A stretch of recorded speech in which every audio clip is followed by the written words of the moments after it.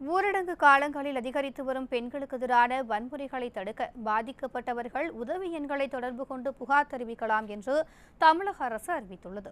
தமிழக அரசு வெளியிட்டுள்ள அறிக்கையில் கொரோனா வைரஸ் தடுப்பு நடவடிக்கையாக ஊரடங்கு உத்தரவு அமல்படுத்தப்பட்டு அனைவரும் வீட்டில் இருக்கவும் சமூக இடைவெளியை பின்பற்றவும் அறிவிக்கப்பட்டுள்ளதாகவும் முதலமைச்சர் அறிவுரையின்படி அரசு துறைகள் முழு வீச்சில் பணியாற்றி வருவதாகவும் தெரிவிக்கப்பட்டுள்ளது.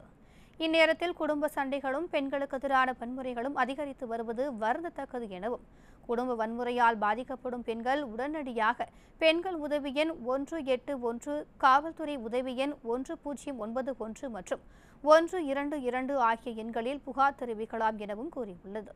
இந்த புகார்கள் மீது சம்பந்தப்பட்ட மாவட்ட பாதுகாப்பு அலுவலர்கள் குடும்ப நல ஆலோசகர்கள் மூலம் விசாரிக்கப்பட்டு நடவடிக்கை எடுக்கப்படும் எனவும் தெரிவிக்கப்பட்டுள்ளது.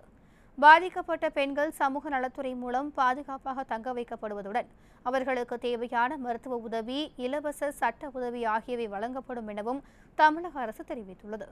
பெண்களின் கண்ணியம் மற்றும் பாதுகாப்பிற்கு தமிழ்நாடு அரசு என்றும் உறுதுணையாக இருக்கும் எனவும் அதில் கூறப்பட்டுள்ளது.